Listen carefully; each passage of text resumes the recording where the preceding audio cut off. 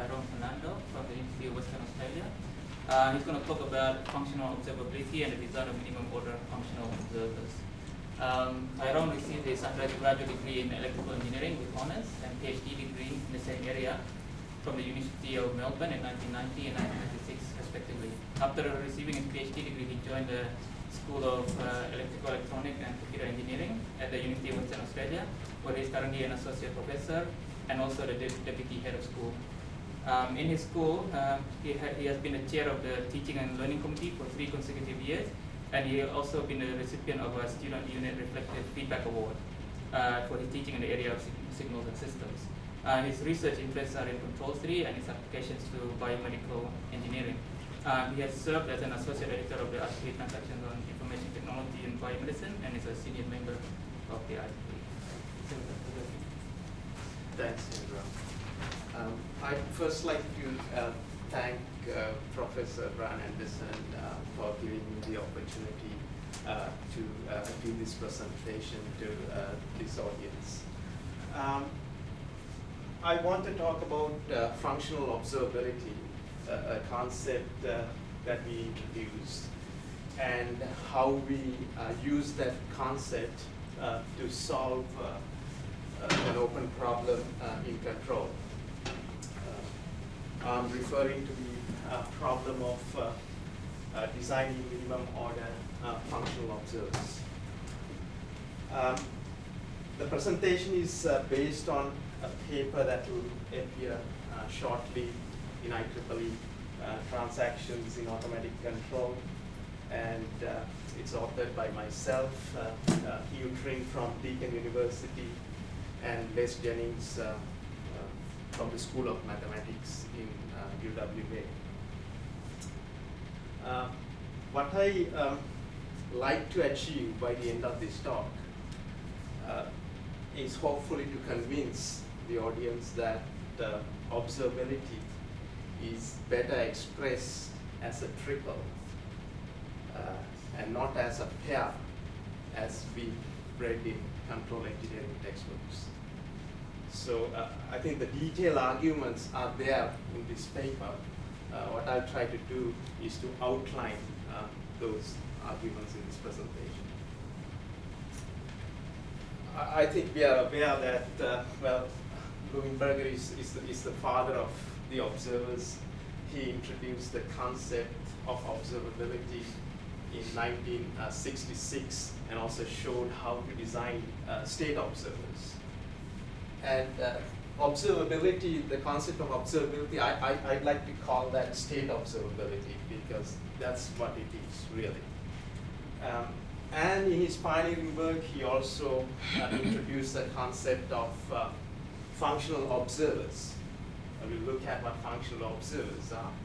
But I, I, I, did a search on the internet and I was pleasantly surprised that uh, Louis is still attached to Stanford University uh, in one of the engineering departments. So uh, what are functional observers? Uh, functional observers uh, estimate a linear function of the state vector without estimating all the states. State observer, of course, estimate all the states. Uh, functional observer will estimate only a linear function of the state vector. Now, observability uh, was assumed as a precondition for designing functional observers. In all of the algorithms proposed in literature that I've read so far, uh, assumes uh, observability. But uh, I will show observability is not a precondition to design functional observers. There are conditions where the system is not observable, but still it is possible to design functional observers. Uh, and in this talk, also I will uh, show that functional observability is, is a broader concept, and that concept captures the idea of observability. So uh, state observability or observability is only a special case of functional observability. So that is an idea that will come out in the talk. So uh, what is the, uh, uh the problem that uh, remained unsolved? Well, we be referring to a system, the standard system defined by matrices A, B, and C. And uh, ZT is the function that we want to estimate. And that can be defined uh, by a matrix L. So Z is L xt. So obviously this matrix L has n columns and it will have r rows. So r being a number less than n. So we're not interested in estimating uh, all the states. Obviously, if you choose L to be I, the identity matrix, then uh, we are talking about a state observer design, if L is equal to I. And the, uh, the functional observer is a dynamical system, uh, which is uh, defined in this way um, by matrices N, J, H, and E. Those are the observed matrices. And Z hat T is, is the estimate of ZT. So the objective is to find these matrices N, J, H, and E so that Z hat will track Z.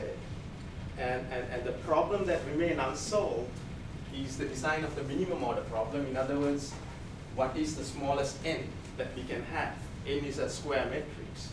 What is the smallest n we can have so that z hat tracks z? So uh, who are the people who looked at this problem, uh, starting from Luenberger in 1966? Uh, we see a lot of familiar names here. Brian himself, a jury, John Moore, uh, Mohammed Aldeen uh, from University of Melbourne. And uh, of course, a very important result was reported by Darouach in 2000. And our work is actually based on the work of Darouach in 2000.